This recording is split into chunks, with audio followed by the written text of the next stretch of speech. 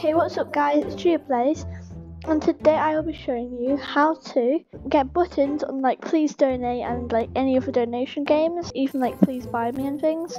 But here's all my buttons and I've got 123 donations raised. Today I'll be showing you how to do that, so let's go. So you're going to want to go onto Google, search Roblox Studio and then you're going to want to click it obviously. Dashboard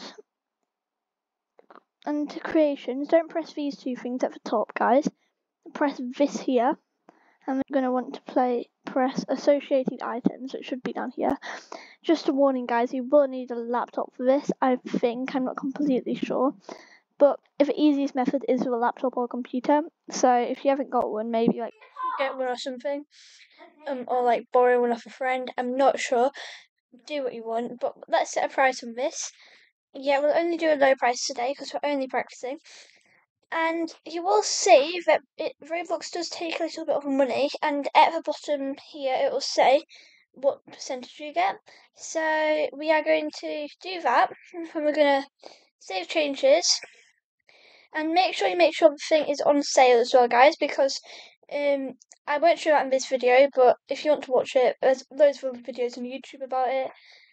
But um, that's it for today, guys. So like, like and subscribe. Bye.